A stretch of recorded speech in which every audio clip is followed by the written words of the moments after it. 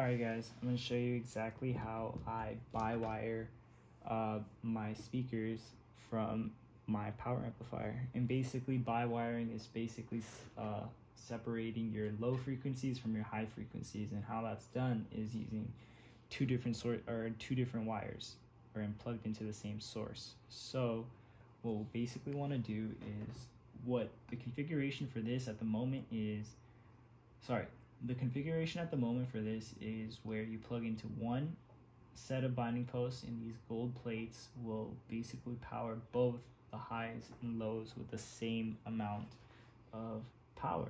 So what we would do is in order to separate these so that they're clearer and less distortion basically is you get rid of these gold plates that bind them together for example, one falls out just like that, and the other will also fall out.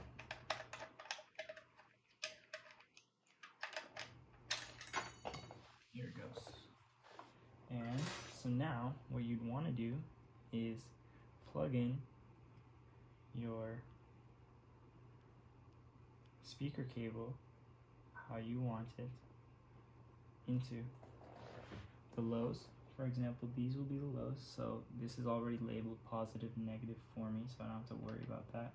Usually you'd want to make these smaller connections so that you don't have speaker wire just exposed because oxidation does do some, uh, what's it called?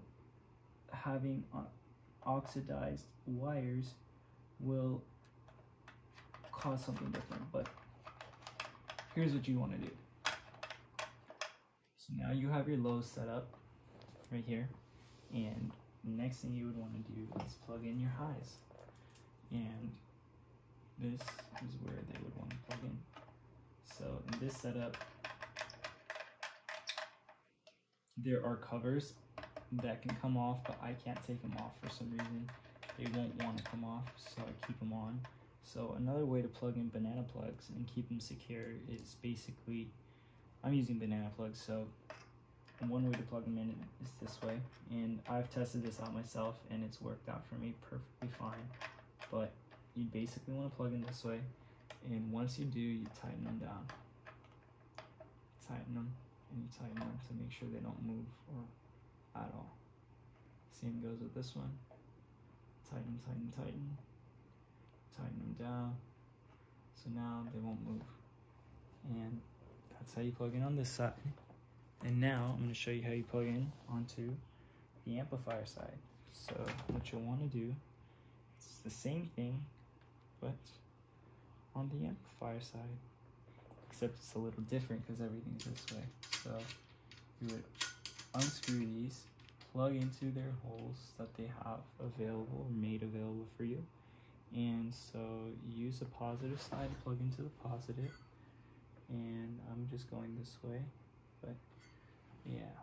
So you want to plug in this way tighten that down as best you can as much as you can and do the same for the negative and make sure that these are cramped cramped clamped down and pressed together so you don't have loose strands plugging into each other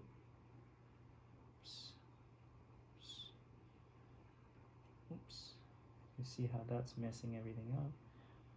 And so, go ahead and tighten this, tighten it, tighten it, tighten it. And go ahead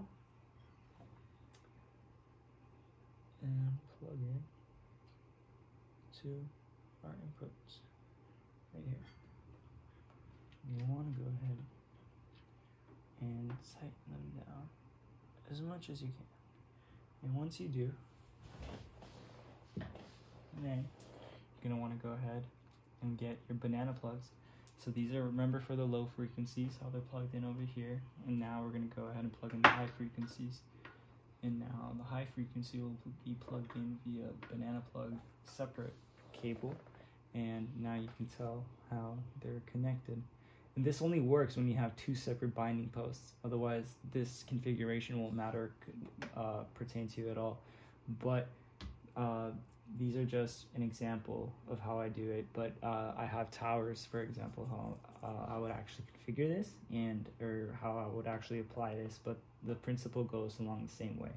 So first things first, if you want to disconnect do everything in reverse, so disconnect from the amplifier. Also make sure this is already not in there. Um, go ahead and get rid of these. Those would fall out. Get rid of this. That's your input from the AVR receiver, like we said. And then you hold this down. And so that it doesn't move.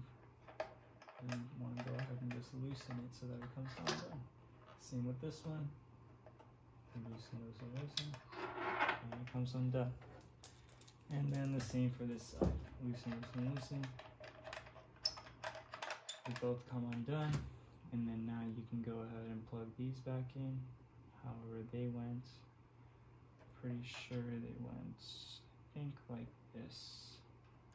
So one there, one there, underneath, underneath. And you can tighten this. And this one, and then repeat for this. A ring that it goes under so that fits snug. And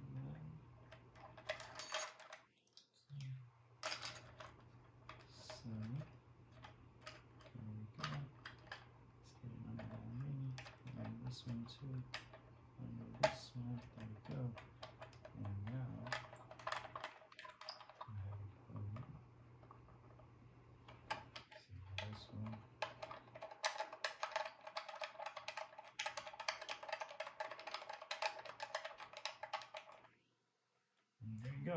You're good.